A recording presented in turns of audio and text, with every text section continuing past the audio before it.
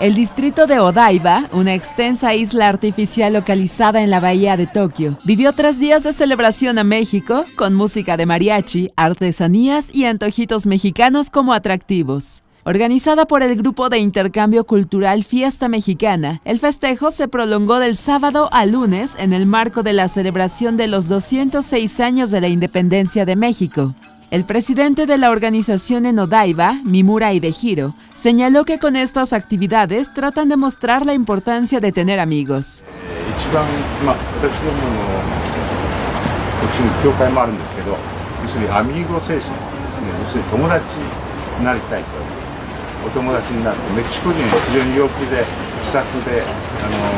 友達にすぐなりやすいというところもありますけどこれ日本人に対して向こうからこう来るの日本人もノーっていうことでアミーゴということでですね。そういうアミーゴの精神をしてもらえて一番いいなと。メキシコ人はすごく、